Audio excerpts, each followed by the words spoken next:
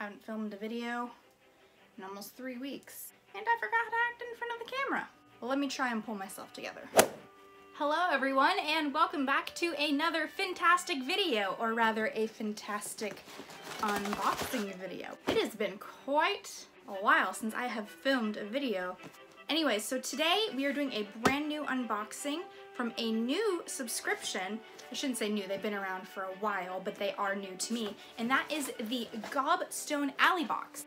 Now, story time on this box.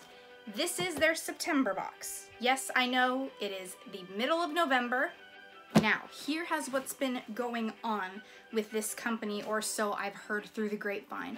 These have been going out late due to the fact that they are trying to relocate their facility, but this company is also dealing with some legal situations. It sounds like from what I know, according to Cherry Wallace's account, the Gobstone Alley team was a boyfriend-girlfriend duo, and they started their company together. Apparently, the girlfriend decided to drop out, but the boyfriend wanted to continue the company. So he's been trying to deal with legal situations and get the company back up and running. It sounds like things are going back to normal. So yes, even though this is September's box and it is November, it sounds like they're just about a month behind and they're slowly catching up, but I have faith in them and what I've seen in other YouTubers' videos. I think this is a very good quality box and I'm very excited to be unboxing this. Now, before I open this, let me clarify.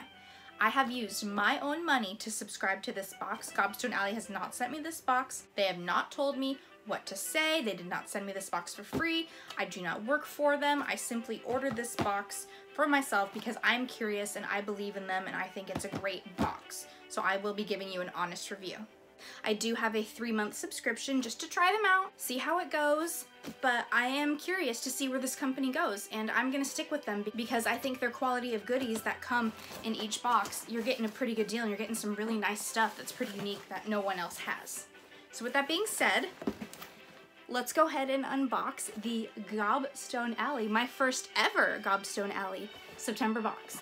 And can we talk about how adorable this packaging is? I mean, look at that. The flying parcel, it's got platform nine and three quarters. It's got an owl post stamp.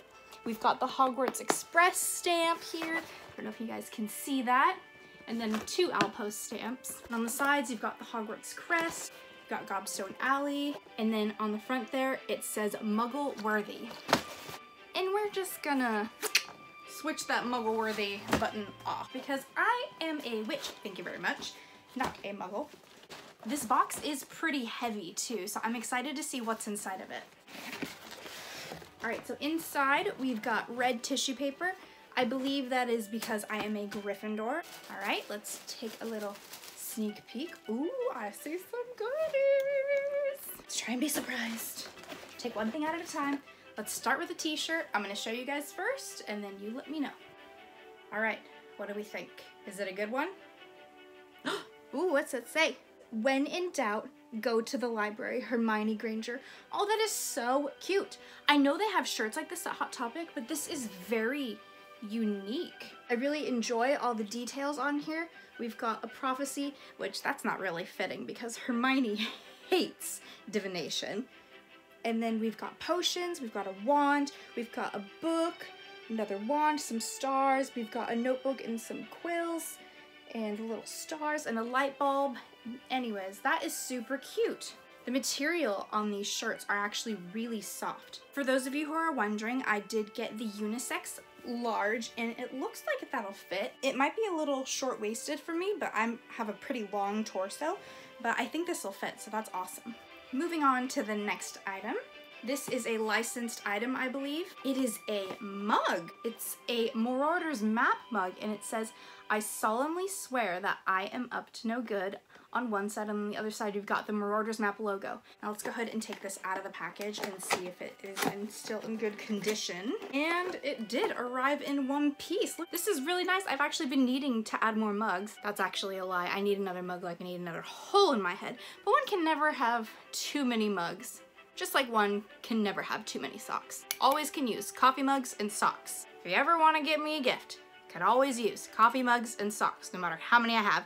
I don't care. And this is a pretty decent size too. I really enjoy this. I'm gonna be taking this to my work. Next up, we got some Bertie Bott's Every Flavored Beans. These are awesome.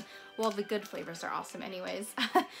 but the possible flavors that you could get in these beans are banana, black pepper, blueberry, booger, candy floss, cherry, cinnamon, dirt, earthworm, earwax, grass, green apple, marshmallow, rotten egg, sausage, lemon, soap, tutti frutti, vomit, and watermelon. Now I've eaten these before and I have to say I think my least favorite is probably the earthworm. It is the most disgusting thing on the planet. I swear I have a worm in my mouth when I eat it.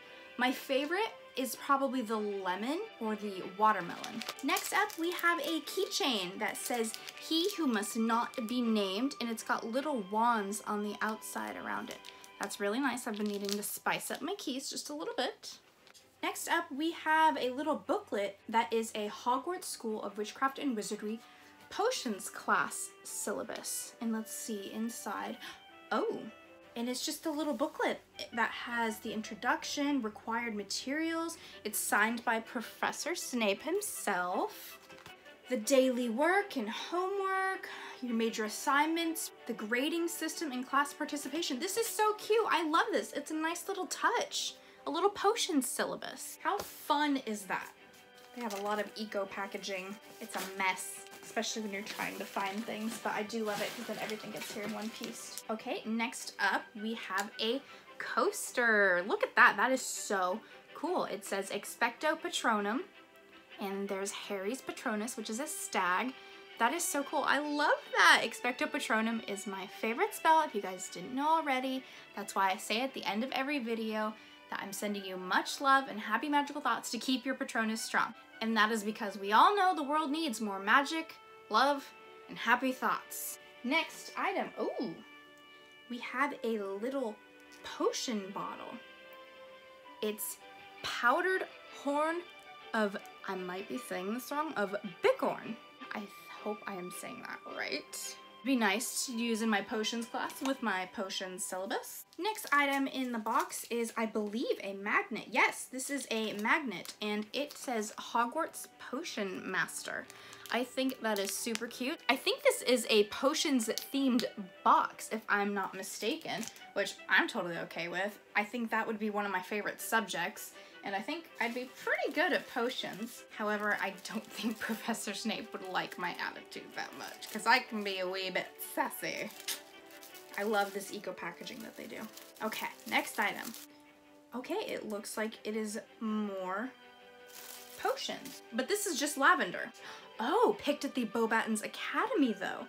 That is so cool. It was picked on September 12th of 1994. Very nice, come in handy. How adorable is that? All right, so these next two items. Gobstone Alley has kind of a sister company that they work with and they always send out teas and candles in each of their boxes. So the first item is from Cozy Elves Magical Drinks and Sweets and this month's tea is Aunt Petunia's Raspberry Tea. That sounds delicious. The ingredients are Ceylon black tea, hopefully I said that right, freeze-dried raspberries, hibiscus, dried rose fruit, black lilac, raisins, blue bottle, and raspberry aroma. What's nice about these bags is they are resealable once you open them and you will need a tea infuser if you get this box if you don't already have one because they are loose leaf as you can see. They don't come in bags. All right, next item is I'm pretty sure the candle that I was talking about. Very nice packaging, keeping it safe during transit from the owl. Oh my gosh. Okay, so Incendio Candles is another company that Gobstone Alley works with. They are handmade and 100% vegan, and this month's scent is the Common Room. All right, so let's see what that smells like. What does the Common Room smell like? Depending on which common room you're in. You know, I don't think I like the way the common room smells. It kind of smells like plastic and cedar wood, which I'm not a fan of cedar wood, so that's interesting. I wonder if for each house they sent out a different scent for each common room. If you've gotten a Gobstone Alley box and you're in a different house, if you're not in Gryffindor, Please leave a comment down below. I'm very curious. Because I'd imagine the Hufflepuff common room would smell like cookies or food because they're right next to the kitchen.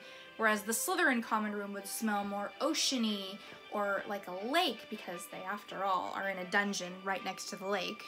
But if this is the way the Gryffindor common room smells, then I do not want to be in the Gryffindor common room that often. I'm sorry, I'm not really a fan of that. Which is a shame because everyone always raves about how amazing these candles smell, but this one's definitely a miss. It's not for me. Oh, it looks like I have one more item. Okay, it's a little envelope. What's inside of it? A very thick piece of paper. This is very nice paper. Oh, It's a permission slip to go to Hogsmeade Village. How cute is that? That is so adorable. It says as follows, permission for visit Hogsmeade for, and then you put your name here. This document hereby serves to state the aforementioned third year student of Hogwarts School of Witchcraft and Wizardry is permitted to visit the village of Hogsmeade at such a time that the school arranges, and with the signature of the undersigned parent or guardian. The student shall abide by all such rules and regulations relevant to such expedition and set by the school as per Article 528Z of the 1714 edit. And then you have a little section where you can print the name, the relation, and the signature of someone for you to go. So guess what, guys? I get to go to Hogsmeade Village. Oh yeah, just in time for the holidays, drink some butterbeer, walk through the snow. That's what I'm talking about. And like I said, this paper is so nice. It feels like a genuine paper that professors would hand out for permission slips. It's just very professional. And at the very bottom, you have a list of everything that should be included in your box. Kreacher says you better not wash the t-shirt above 50 degrees Celsius. That's funny. Kreacher telling me how to do my laundry. Again, we got the t-shirt, we got the licensed mug, the licensed lenticular coaster with Patronus, the He Who Must Not Be Named licensed keyring, the vial with powdered bighorn horn, We'll need it for our polyjuice potion. The vial with French lavender. It's needed for sleeping drought and fire breathing potion. We have a Potions Master Magnet, Cozy Elves Tea, Potions Class Syllabus, permission for visiting Hogsmeade Slip, and the Common Room Incendio Candle, followed by Bertie Bott's Every Flavored Beans. Well, I am very happy with this box, honestly. Very curious to see. I subscribed for three months on this box, so I'm curious what the next two months box are going to look like. If I had to pick my favorite item, oh, such a tough decision. Because I love handmade items so much, I really enjoy this permission slip to visit Hogsmeade letter. I really enjoy that. It's very nice touch. And I also really love the Marauders map mug. My least favorite item, I really wanted it to be my favorite item, but it's gotta be the Incendio candle. I mean, if this is what the Gryffindor common room smells like, then I don't want to be a Gryffindor. It's not for me. It smells like burnt plastic and cedarwood and rubber and ugh, I'm, no, I'm not a fan. It's not for me, I'm sorry. And it looks like that's it for today's video. Thank you guys so much for joining me. I missed you guys. I missed filming. I felt weird not filming, but life has been so busy. Curse being a muggle and having a muggle job and muggle responsibilities. It's kicking my butt, slowly but surely. Anyways, if you enjoyed this video, be sure to give it a big thumbs up. Also, leave a comment down below of what your favorite item from this unboxing was, as I'm curious to know. And if you want to be kept up to date on all of my latest videos, be sure and subscribe. Now, if you guys don't mind, I'm going to go get my permission slipped to visit Hogsmeade Village signed so I can go just in time for the holidays.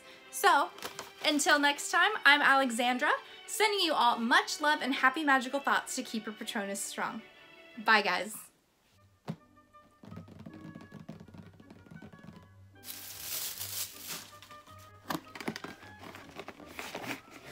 Oh my god, come on, get open.